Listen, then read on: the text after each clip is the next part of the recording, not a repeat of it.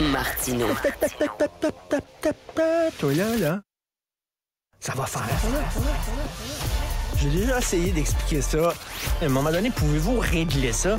La rencontre de Richard Martineau. Richard, bonjour. Salut. Et il se prend pas pour un 7-up flat, M. Fitzgibbon? Ah ouais, hein? C'est. euh, Parce qu'il y a Michel Gérard ce matin une chronique super bonne sur pourquoi on a posé les questions sur son don posthume de 5 millions de dollars au HEC. En disant la moitié de ça va être payé par les fonds publics. Pourquoi cette école-là? Les questions sont légitimes. C'est pas un scandale. Je veux dire, les questions sont Poser des questions. Et là, déjà, rien qu'oser questionner Monsieur Fitzgibbon, lui est au-delà de toute critique, voyons Ah donc. oui. Alors déjà, rien que poser des questions. Alors, il a dit que le Journal de Montréal était un tabloïd bas de gamme. Il a, il a écrit ça sur Twitter. Je vais aller le voir tout de suite, là, ce qu'il a écrit sur Twitter. Euh, mais il est revenu parce que, Pierre- euh, parce que euh, Michel Gérard disait justement qu'il jouait à l'autruche en ce moment, qu'il y avait de réelles questions.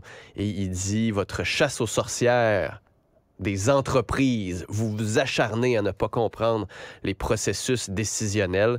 Puis après ça, et il nous dit euh, dans son tweet c'est un tabloïd bas de gamme, le Journal de Montréal. Est-ce qu'on pose des Euh, questions? Ben, juste parce qu'on pose des questions. Ben, parce qu'un collègue là. a posé des questions, là, je veux dire. Parce que là, là, sa partie de chasse, il est pas content, mais tu sais, sixième enquête de la commissaire à l'éthique, trois blancs de la commissaire à l'éthique. Mais nous, on comprend pas, tu sais, comment les Ben oui. affaires des milliers. Puis il y a beaucoup de monde Mais hein, quoi, la commissaire à l'éthique, elle, elle est, elle est payée par le, par le Journal de Montréal, j'imagine. Je sais pas. Je sais pas. Mais tu sais, à donné, dans une démocratie, c'est bien d'avoir des contre-pouvoirs. Ouais. En entreprise privée, il y en a peut-être moins, mais c'est pour ça qu'on se met des contrôleurs financiers, c'est pour ça qu'on a des comptables, c'est pour ça qu'on met des contre-pouvoirs pour éviter des dérapages, et les médias en font partie. Et là, il est en train de décrédibiliser un organe médiatique je dis, qui, qui a un bureau d'enquête exceptionnel, qui a un solide bureau d'enquête, Ben oui. qui sort des scoops qui sont pertinents, intelligents. Et là, on n'aurait même pas parlé de cette histoire-là s'il n'avait pas lui-même politisé les questions. Peut-être que personne n'aurait parlé de cette... Peut-être que Francis Alain aurait fait comme... Hey, bon, les réponses sont plates, on fait rien là-dessus, c'est pas Non, grave. puis, d'ailleurs, l'histoire de, de voyage de chasse sur l'île Ouais, privée, ouais, ouais, euh, ils avaient, ils n'avaient pas dit c'est un scandale, ils avaient interviewé des gens là, en Ah éthique, puis tout ça, qu'est-ce que vous vous en pensez? Il y a des gens qui disent ben euh, blanc, il y a des gens qui disent noir, etc. Ah c'est nuancé, On là. pose des questions en disant ben oui, il y a des questions à se poser. Christy, cette île-là appartient à des gens d'affaires qui aimeraient ça recevoir Qui des ont subventions reçu des du subventions gouvernement. du gouvernement. Écoute, là, Christy, là, Un on chum, chum.